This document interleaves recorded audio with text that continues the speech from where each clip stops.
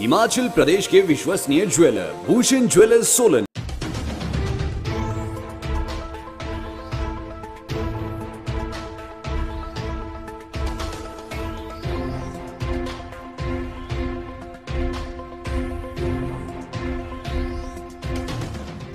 Corona virus को लेकर राज्य सरकार के आदेशों से पहले मंडी जिला प्रशासन ने अपने स्तर पर पिछले कल दो बजे से ही जिला भर में कर्फ्यू घोषित कर दिया था।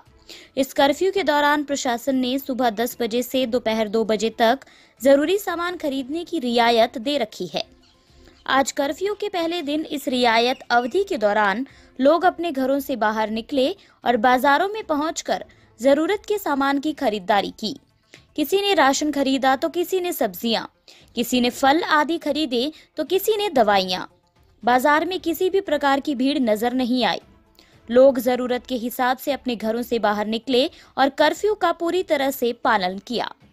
जहाँ मैं आपके माध्यम से सभी लोगों को आश्वस्त करना चाहूँगा कि जब से कोरोना वायरस का आउटब्रेक हुआ है, तब से हम कंटिन्यूस जो हमारी सप्लाई है, उस पर देख रहे हैं। जिला मंडी में अगर हम आटा और चावल की बात करें तो हमारे पास पूरे ज़िले के लिए तीन महीने की सप्लाई हमारे ऑलरेडी ज़िले में है।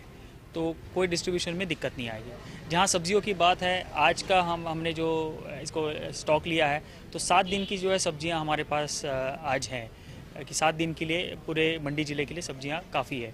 और क्योंकि सब्ज़ियाँ पेरिशेबल है तो उसके लिए हम जो हमारा वर्कफ्लो है, जो सप्लाई चेन है, उस पर भी हमारी नज़र है, ताकि और सप्लाई जो पंजाब से आनी है, बाकी जगह से आनी है, वो भी सुचारू रूप से हमारी चलती रहे। तो जब से हमने कर्फ्यू इम्पोज किया या जब से लॉकडाउन चला हुआ है, हम, हमारी लगातार नज़र इस पर है कि कोई भी इसेंशियल कमोडिटी कहीं पर भी उसकी ना कमी आज है, ना आने वाले दिनों में रहने वाली है। इसके लिए हम जो है पूरा प्रयास कर रहे हैं और लोग जो है अस्वस्थ रहें कि जब उनको रिलैक्सेशन दी जाएगी, उनको जो है सामान उपलब्ध हो जाएगा।